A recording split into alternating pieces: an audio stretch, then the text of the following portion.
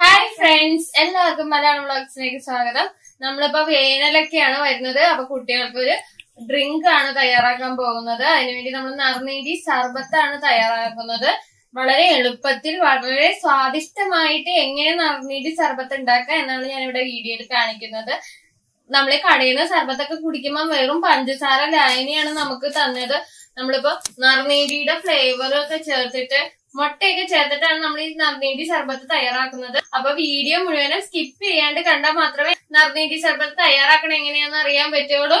അപ്പൊ വീഡിയോയിലേക്ക് പോയാലോ?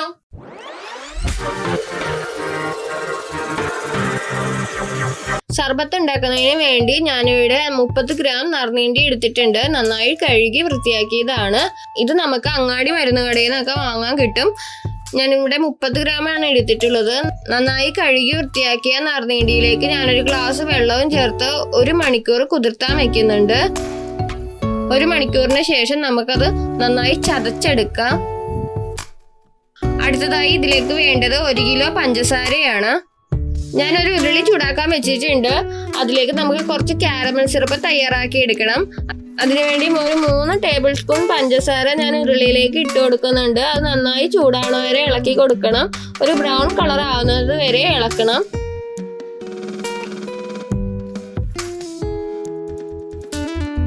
പഞ്ചസാര നേരിയതായിട്ട് ഉരുകി തുടങ്ങിയിട്ടുണ്ട്. ഇത് കണ്ടോ? ഈ പരുവത്തിൽ ഉരുകി തുടങ്ങിയിട്ടുണ്ട്. നമുക്ക് തീ കുറച്ചിട്ടിട്ട് വേണം ഇത് ചെയ്യാൻ വേണ്ടിയിട്ട്. അല്ലെങ്കിൽ പഞ്ചസാര കത്തിപ്പോവും. പഞ്ചസാര മുഴുവനും നന്നായി ഉരുകി ബ്രൗൺ കളറിലുള്ള കാരമൽ സിറപ്പ് ആയിട്ടുണ്ട്. ഇതിലേക്ക് നമുക്ക് ഒരു ലിറ്റർ വെള്ളവും കൂടി ചേർത്ത് കൊടുക്കണം. നന്നായി ഇളക്കിക്കൊണ്ടിരിക്കണം. വെള്ളം തിളച്ചു തുടങ്ങുമ്പോൾ നമ്മൾ എടുത്തു വെച്ചിരിക്കുന്ന ബാക്കി പഞ്ചസാര മുഴുവനും ചേർത്ത് കൊടുക്കുക. പഞ്ചസാര മുഴുവനും വെള്ളത്തിലേക്ക് ലയിക്കണം. അതുവരെ ഒന്ന് ഇളക്കി കൊടുക്കണം. പഞ്ചസാര മുഴുവനും വെള്ളത്തിൽ ലയിച്ച് കഴിഞ്ഞിട്ടുണ്ട്. നമുക്ക് തീയ നന്നായി കുറച്ച് വെച്ചിട്ട് നമുക്ക് ഒരു മുട്ടയുടെ ഒരു കോഴിമുട്ടയുണ്ട് ഞാനിവിടെ യൂസ് ചെയ്യുന്നത്. ഒരു കോഴിമുട്ടയുടെ വെള്ള നമുക്ക് ഇതിലേക്ക് ചേർത്ത് കൊടുക്കാം. നന്നായി ഇളക്കി കൊടുക്കണം. അതിനുശേഷം നമുക്ക് ഒരു നാല് ഏലക്കയാണ് ഇതിനകത്തേക്ക് ഞാൻ ചേർത്ത് കൊടുക്കുന്നത്. നാല് ഏലക്ക ചതച്ചെടുത്ത് നമുക്ക് ഇതിലേക്ക് ചേർത്ത് കൊടുക്കാം.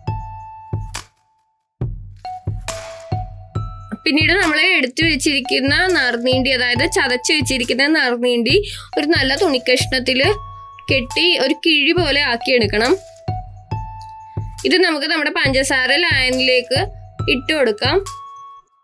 ശേഷം തീയുടെ ഫ്ലെയിം കൂട്ടിയിട്ടിട്ട് നമുക്കൊരു പത്ത് പതിനഞ്ച് മിനിറ്റോളം തിളപ്പിച്ചെടുക്കണം. നമ്മുടെ ഈ ചാനൽ അറിയിട്ടാണ് കാണുന്നതെങ്കിൽ സബ്സ്ക്രൈബ് ചെയ്യാൻ മറന്നു പോകരുത്. നമ്മുടെ വീഡിയോ ഇഷ്ടമായെങ്കിൽ ഫ്രണ്ട്സിനൊക്കെ ഷെയർ ചെയ്യാനും മറന്നു പോകരുതേ. സബ്സ്ക്രൈബ് ചെയ്യുമ്പോൾ തൊട്ടടുത്തുള്ള ബെൽ ബട്ടണും ഓൾ ഐക്കണും ക്ലിക്ക് ചെയ്യണേ. നമ്മുടെ സർബത്ത് ഇപ്പോൾ നേരിയ കട്ടി പോലെ ആയിട്ടുണ്ട്. നല്ല രീതിയിലൊന്നും കട്ടിയാവണ്ട ഒരു പതിനഞ്ച് മിനിറ്റ് തിളപ്പിച്ചാൽ മതി. ആ രീതിയിലായിട്ടുണ്ട്. നമ്മൾ ഇതിലേക്ക് ചേർത്തിട്ടുള്ള കിഴി ഉണ്ടല്ലോ. നമ്മൾ നിറഞ്ഞേണ്ടി കെട്ടിയിട്ടിട്ടുള്ള കിഴി. അതൊന്ന് എടുത്തു മാറ്റാം. ഫ്ലെയിം ഓഫ് ചെയ്തതിന് ശേഷം നന്നായി തണുക്കാൻ വെക്കണം.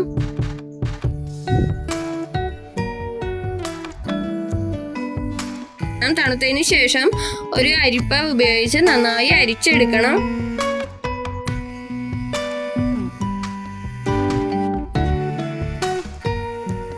നമ്മുടെ നറുനീണ്ടി സർബത്ത് ഇവിടെ റെഡി ആയിട്ടുണ്ട്. നമുക്കിതൊരു കുപ്പിയിലേക്ക് പകർത്തിയെടുക്കാം.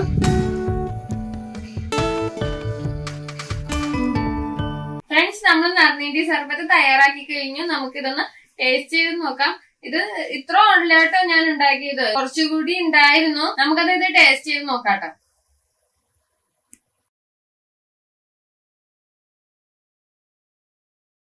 നമ്മൾ നല്ല കട്ടിയിലാണ് ഉണ്ടാക്കിയിരിക്കുന്നത് അത് കാരണം നമ്മൾ അധികം ഒന്നും ഒഴിക്കണ്ട. കുറച്ച് ഞാൻ എടുക്കണുള്ളൂ. നല്ല മധുരമാണിത്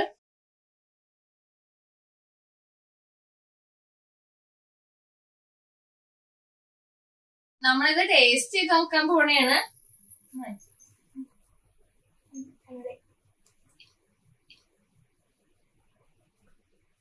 സൂപ്പർ ടേസ്റ്റ് ആണ്.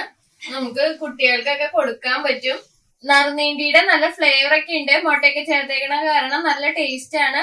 നമുക്ക് കുട്ടികൾക്കൊക്കെ ഉണ്ടാക്കി കൊടുക്കാം. വീഡിയോ ഇഷ്ടമെങ്കിൽ ലൈക്ക് ചെയ്യുക ഷെയർ ചെയ്യുക. അടുത്തൊരു വീഡിയോ ആയിട്ട് വീണ്ടും വരാം. ബൈ